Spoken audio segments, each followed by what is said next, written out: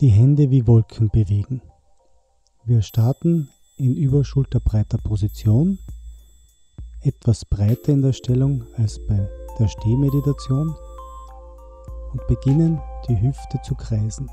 Wir zeichnen eine liegende Acht in den Boden. Die Fußflächen halten wieder gute Verbindung zum Boden hin. Nun beginnen auch die Hände zu kreisen. Die linke Hand von innen nach außen, die rechte ebenfalls von innen nach außen.